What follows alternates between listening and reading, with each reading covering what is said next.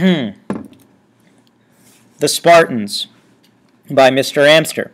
Before you begin, please make sure that you have a sharpened pencil or pen and a highlighter.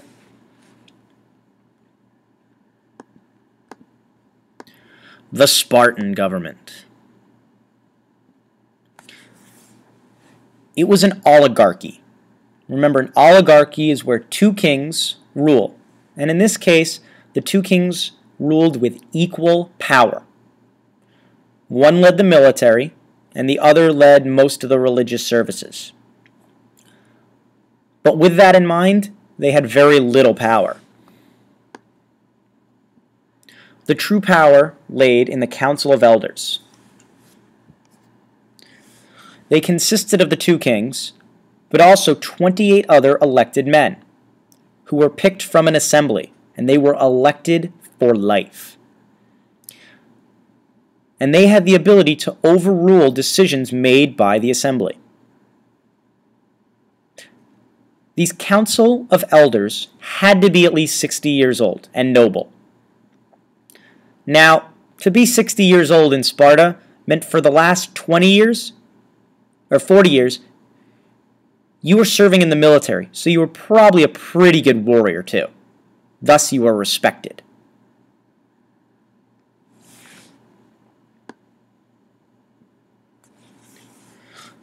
Now, the assembly dealt with people that were older than 20. They decided on questions of war and peace that they would propose to the Council of Elders. They did not so much debate laws, but they got to vote on them. And they could propose things to the council that the council would bring back to them. The last one in the Spartan government are known as the. And they're five members, yearly chosen from the assembly. And they're in charge of public affairs and their students' education.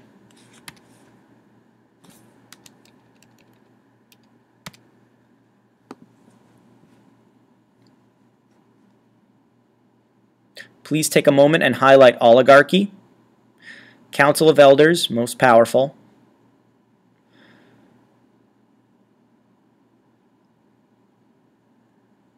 assembly, decided on questions, did not debate, just voted. And the Ephors, five members, yearly chosen.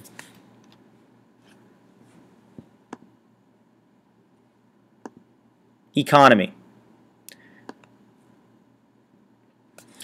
Now, the Spartans themselves have very little interest in this.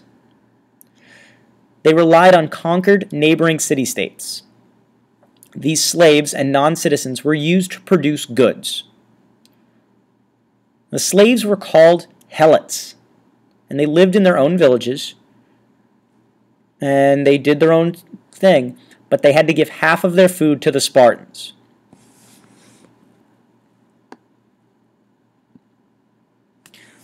The Perioikoi might get to serve in the military, if they're very lucky, and only if they're needed. They could not take part in the government, and they made necessary items for the soldiers shoes, the red cloaks, their iron knives, and their spears.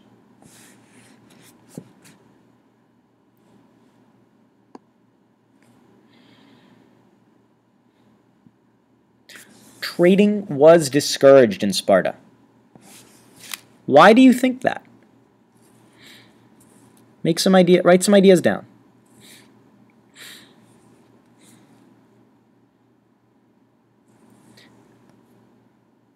Well, trading in its most basic form is designed to help the spreading of ideas. And Sparta likes things just the way they are. They didn't want to make changes. They thought the Athenians were weak, and they looked down on almost every other civilization.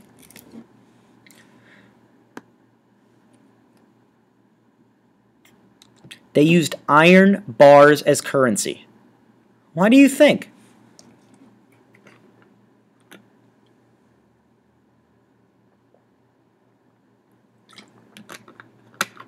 It was to discourage uh, stealing. Please write that down. Can't get very far with a bunch of iron bars. Kinda hold you down. Please take a moment and highlight little interest in farming themselves.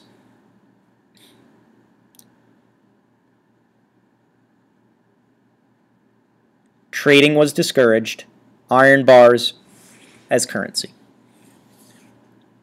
If you are having trouble keeping up, please pause the video. Otherwise, let's keep going.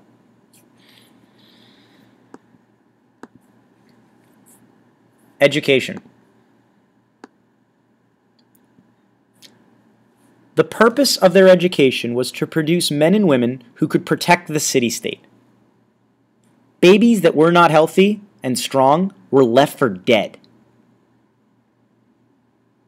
They had no time for weakness. Not here, not in Sparta.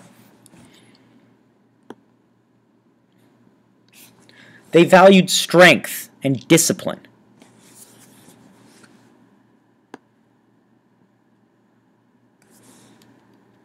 At age seven, children were trained to fight. Even girls were. It was called agoge, and they learned to wrestle, box, foot racing, and gymnastics. They learned to read and write, although it's not that important of a skill to them. They're taught to deal with pain. They would march without shoes and they were beaten constantly. No pain, no game. No pain, no, well, no pain at all in Sparta. They're encouraged to steal and not get caught. And the story of the boy and the fox is one that they would tell their young people. And the story goes, and please put your pencil down to listen here, of a young boy who was training and was hungry, and he caught a fox. But as he caught the fox, he was called to he he was called to road to uh, to line up. He didn't have time to kill the fox, so instead he stuffed it into his cloak. And he knew to be quiet, or else he would be beaten. So, as he remained quietly in line, the fox began to tear and bite and eventually the boy dropped and he was and he died. And I know this is a sad story, but the story behind it is a boy who honored Sp- the Spartan rules. And that's the story of the boy and the fox. Not verbatim, obviously, but the general idea. You better not get caught stealing. You better not get caught with food. If you did, you were in trouble. And you would pay the price. And the beatings would have been far worse in his mind. At 20, you were tested on your fitness, military ability, and leadership skills. Passing meant that you were a Spartan soldier and a full citizen. What's one thing you get to join? If you said the assembly, you're correct.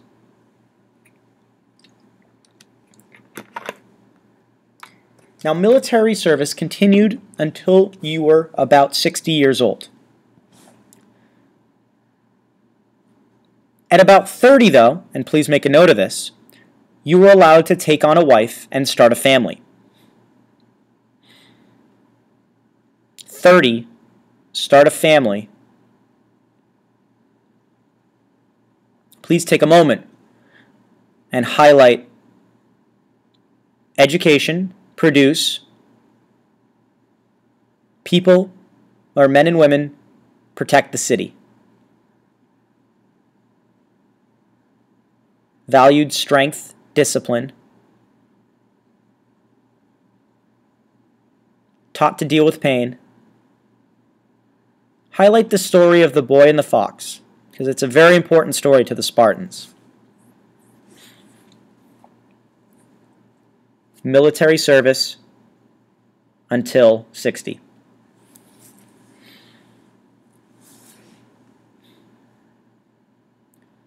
And just so you're aware, women were expected to be strong too.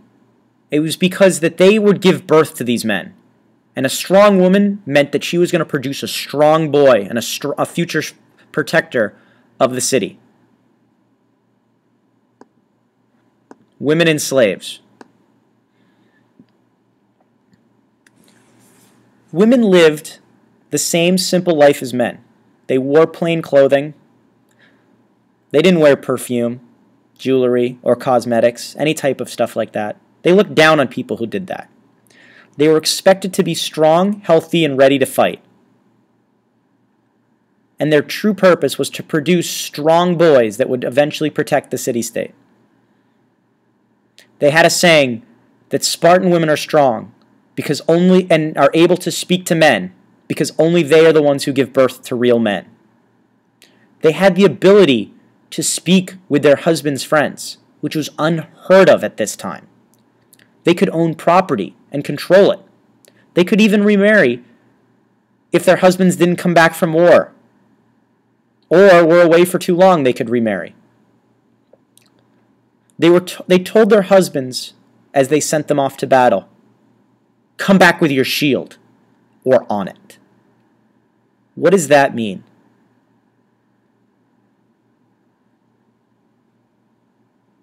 If you don't know, write I do not know, circle it, and be prepared to ask.